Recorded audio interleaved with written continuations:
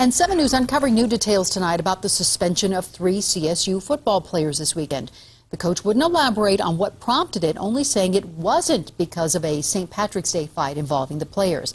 7 News reporter Molly Hendrickson is live in Fort Collins. Molly, you've learned there was another fight, and this one happened the night before the suspensions. The night before it happened right here on LaPorte and Shields, and although police aren't releasing names of those who are involved, some football players are taking to Facebook and apologizing for the actions after some victims posted graphic pictures. Fist-size bruises cover the faces of J.D. Haley and Donnie Gaucher. I have stitches behind my ear back here. Um, I have chipped teeth.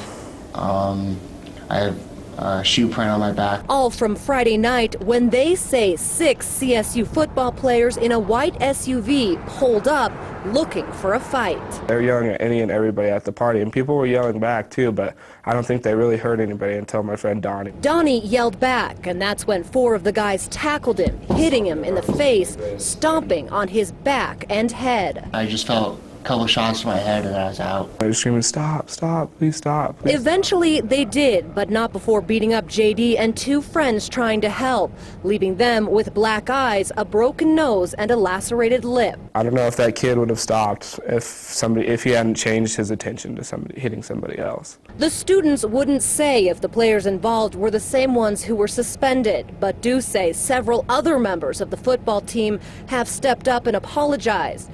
Player Trey Cassidy even took to Facebook, writing, Not everyone on the team are like these athletes that get into fights every other weekend. It really just shows the character of the football team, and they're really just trying to clean this up because now we both can see that it was just a couple bad apples and it shouldn't uh, cloud the whole organization's reputation.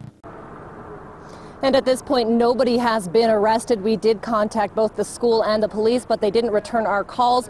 We also were able to get in contact with one of the players, Nordley Cappy, who told us he uh, couldn't comment because of the okay. ongoing investigation. Okay, Reporting live in Fort it's Collins, Molly Hendrickson, right. 7 8.